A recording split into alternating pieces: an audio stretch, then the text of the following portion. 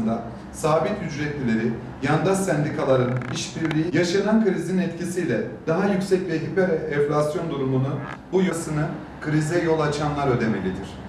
AKP'nin uyguladığı katıksız neoliberal politikaların kaçınılmaz olarak geldiği nokta krizdir.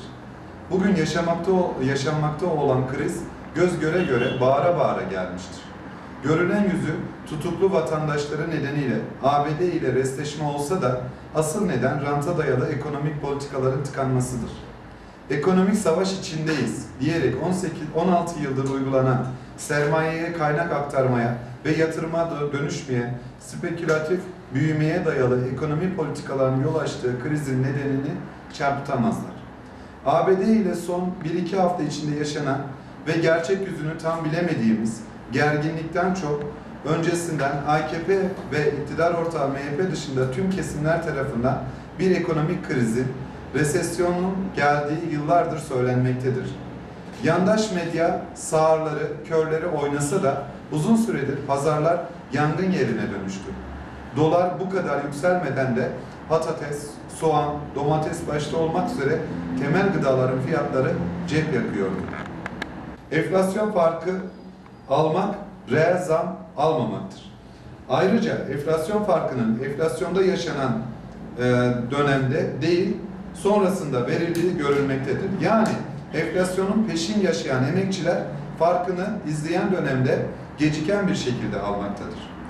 Kamu emekçilerinin yılbaşından bu yana döviz kuru etkisiyle kayıpları dolar bazında %18, euro bazında %11 olarak gerçekleşmiştir. Emekliler için kayıp dolar bazında yüzde 37 iken euro bazında yüzde 32 e, yüzde 32 oranındadır. En büyük kayıp sabit ücretli olan asgari ücretlilerde yaşanmaktadır.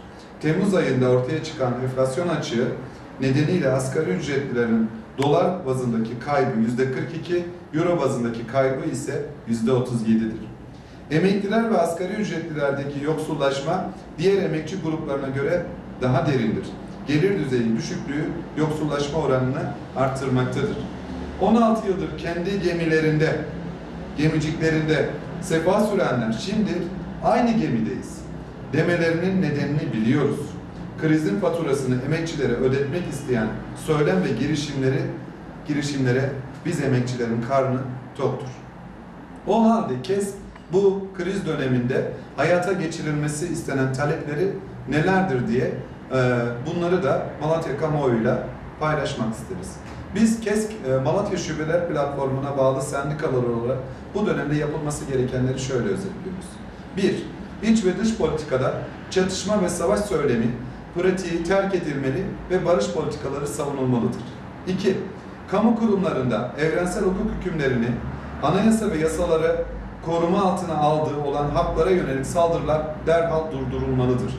O halı fırsatçılığa, hukuksuzca fırsatçılığa çeviren, hukuksuzca ihraç edilen tüm kamu emekçileri derhal işlerine iade edilmeli, geriye dönük tüm kayıpları ödenmelidir. Yargı bağımsızlığı ve hukuk devleti ilkesi yeniden tesis edilmelidir. 2018-2019 yıllarını kapsayan dördüncü dönem toplu sözleşmelerde ücret hükümleri önceki enflasyon gerçekleşmesi yeni enflasyon hedefi ve son döviz krizi nedeniyle gerçekleştirildiğinde güncel ve reel değerlere göre yeniden düzenlenmelidir.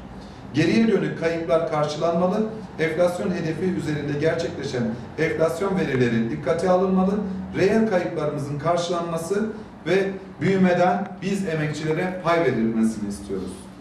Döviz kuru etkisi nedeniyle benzin ve mazota ÖTV üzerinde uygulanan zamların yansıtılmaması uygulamasını özellikle ilaç fiyatlarındaki belirsizliğin gittikçe artan düzeyde halk sağlığını tehdit eder düzeye geldiği görülerek, gözetilerek sağlık gibi alanlarda da bu uygulamanın devam etmesini istiyoruz.